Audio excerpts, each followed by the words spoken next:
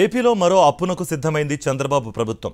పౌర సరఫరాల సంస్థ మాక్ఫెడ్ల ద్వారా ఐదు వేల రెండు వందల కోట్ల గ్యారంటీ అప్పు తీసుకునేందుకు ఆమోదం తెలిపింది రాష్ట్ర మంత్రివర్గం. ఇప్పటికే ఇరవై ఐదు రోజుల్లోనే పద్నాలుగు వేల కోట్ల అప్పు తీసుకుంది కూటమి ప్రభుత్వం. అంటే రోజుకి ఐదు వందల అరవై ఎనిమిది కోట్లు అప్పు చేస్తున్న కూటమి సర్కార్ ఇప్పుడు ఏకంగా మరో ఐదు వేల కోట్ల రూపాయలకు పైగా రుణం తీసుకోవాలని నిర్ణయించడం చర్చకు దారితీసింది. ఆంధ్రప్రదేశ్ ముఖ్యమంత్రి చంద్రబాబు అధ్యక్షతన జరిగిన మంత్రిమండలి సమావేశం పలు కీలక నిర్ణయాలు తీసుకుంది. రాష్ట్ర ప్రభుత్వ గ్యారంటీతో ఐదు వేల రెండు వందల కోట్ల రుణం పొందేందుకు పౌర సరఫరాల సంస్థ ఏపీ మార్క్ ఫెడ్లకు అనుమతినిస్తూ మంత్రివర్గ నిర్ణయం తీసుకుంది. గత రబీలో ధాన్యం కొనుగోలు బకాయిల చెల్లింపులతో పాటు రెండు వేల ఇరవై నాలుగు ఇరవై ఐదు సీజన్లో ధాన్యం కొనుగోలు ప్రక్రియ సజావుగా సాగేందుకు ఈ రుణాన్ని వినియోగిస్తామని తెలిపింది. అందులో ధాన్యం సేకరణ బకాయిలు వెయ్యి కోట్లు చెల్లింపునకు కేబినెట్ నిర్ణయం తీసుకుంది. అలాగే బ్యాంకుల నుంచి రెండు వేల కోట్లు అప్పు తీసుకునేందుకు మంత్రిమండలి ఆమోదం తెలిపింది.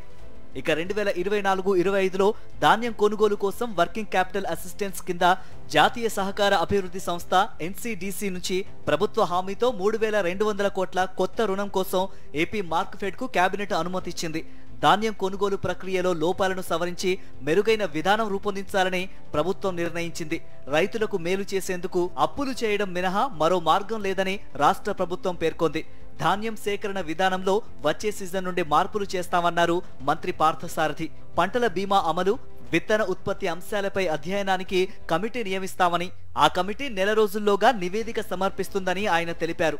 మరి ఆ చట్టం మూలంగా ప్రజల ఆస్తులకి రక్షణ లేదని చెప్పేసి భావించి మరి ఎవరైనా సరే చిన్న కంప్లైంట్ ఇస్తే. ఎందుకంటే టైట్లింగ్ రిజిస్టర్ ఆఫీసర్గా ఒక ప్రభుత్వ అధికారి ఉన్నతాధికారి పనిచేస్తాడని చెప్పని చట్టం రేపు ప్రభుత్వం నామినేటెడ్ విధానం ద్వారా ఇస్తే అదే ఎవరొకళ్ళు ఉద్దేశపూర్వకంగా ఇబ్బంది పెట్టాలనే ఉద్దేశంతో రాజకీయ కారణాలతో ఆ ఆస్తిని వివాదాస్పదం చేస్తే ఎటువంటి దిక్కులేని పరిస్థితి ఉండేదని చెప్పేసి మనం చేస్తాను.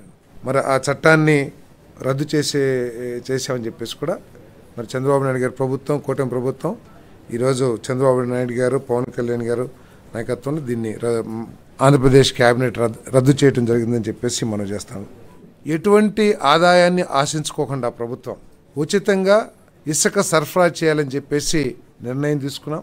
ఇసుక వ్యవహారాల్లో తలదూర్చొద్దని వాటికి కొద్ది రోజులు దూరంగా ఉండాలని మంత్రులకు సూచించారు సీఎం చంద్రబాబు. ఇసుక ఉచితంగా ఇస్తున్నాం కాబట్టి కొంతకాలం సజావుగా సాగనివ్వాలన్నారు. ఈ మేరకు మంత్రివర్గ సమావేశం ముగిసిన తర్వాత మంత్రులతో వివిధ రాజకీయ అంశాలపై ఆయన మాట్లాడినట్లు తెలిసింది.